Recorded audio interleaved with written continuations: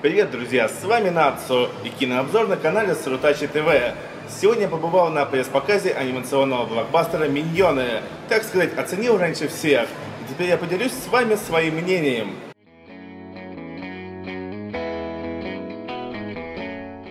Неудивительно, что забавные желтые миньоны все же получили свой сольный проект после двух фильмов «Гадкий я», где миньоны служили ворчливому злодею Грю, они завоевали любовь зрителей. Кто же такие миньоны? На самом деле слово «миньон» происходит из Франции 16 века и применяли его для обозначения любимца высокопоставленной особы. Но наши миньоны несколько отличаются от этого. Они желтые, у них по два или одному глазу, и точного ответа, откуда они появились, никто не даст. Но достоверно известно, что они живут на Земле намного дольше нашего, и помимо того, что они обожают бананы, стороны, у них в жизни есть одна единственная цель, которой они следуют во что бы то ни стало. Это служить самому гадкому существу на свете, Найти-то хозяина не проблема, но вот сохранить его в целости и сохранности, вот тут уже загвоздочка. Повествование картины начинается с хронологии исторических событий от эпохи динозавров и вплоть до 1968 за 42 года до встречи с Грю. Миньоны везде успевают оставить свой неизгладимый яркий след, обусловленный самыми бестолковыми и неуклюжими поступками. И после череды неудач они решают остаться жить новой жизнью в Антарктиде Антарктиде, в своей пещере и просто целыми днями веселиться.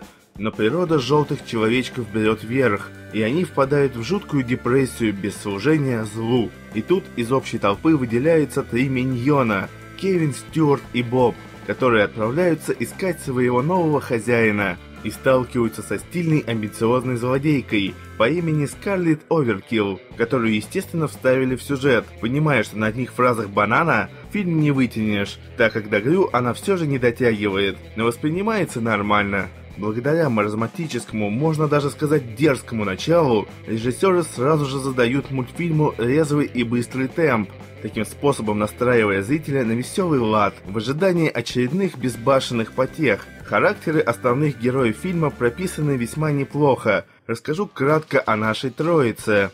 Кевин, гордый защитник, старший брат. Он отлично понимает, что без хозяина миньоны утратят цель в жизни. Именно Кевин предлагает Стюарту и Бобу отправиться в мир, чтобы найти нового злобного босса. Стюарт – средний брат миньонской троицы, практически всегда голодный. Его вполне устраивает статус бунтаря-гитариста, несмотря на то, что юношеский максимализм не дает ему сфокусироваться на миссии. Он вне всяких сомнений готов помочь Кевину и Бобу Бобу найти самую гадкую личность, которой можно было бы устроиться на службу. Боб невинный как младенец, младший братец Миньонов. Он испытывает бесконтрольную любовь ко всему и вся, и немного побаивается отправляться в опасное путешествие со Стюартом и Кевином. Второстепенные герои хоть и добавлены до какой-то сюжетной линии, но смотрятся весьма неплохо, и их характеры проработали именно до того состояния, чтобы они не брали на себя слишком много внимания. Весь фильм миньоны носятся по Лондону, высмеивая все английские привычки и обычаи, творя полный беспредел. Юмор весьма простой, но забавный. Если вы помните, что чудили помощники Грю, когда были на второстепенных ролях, то тут несуразности сконцентрированы в сотни раз больше.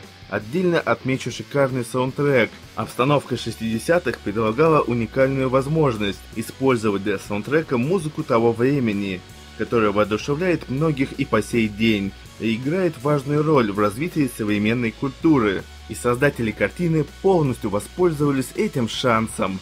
Во время путешествия трех братьев мы услышим многочисленные хиты, гремевшие в 60-х, таких культовых групп как Beatles, Rolling Stones, Doors и так далее.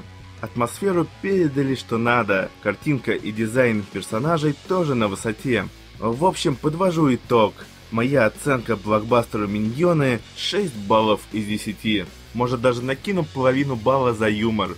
Мультфильм я несомненно рекомендую к просмотру в кино, тем, кто неравнодушен к миньонам или просто к желтому цвету. Конечно, фильм без претензий на глубокую и поучительную основу. Но что вы хотели от развлекательного кино? Да, миньоны весьма слабее оригинальных фильмов про Грю, Но эти забавные и озорные ребята определенно гарантируют хорошее времяпрепровождение и заряд хорошим настроением. Посмеяться там есть над чем, как взрослым, так и детям. К слову, возрастной рейтинг фильма в России 6+, так что смело можно идти всей семьей как на 3D-сеансы, так и на обычные 2D. Дети уж точно будут в восторге. Озорные миньоны ждут вас во всех кинотеатрах страны с 9 июля, то есть уже можно идти в кино.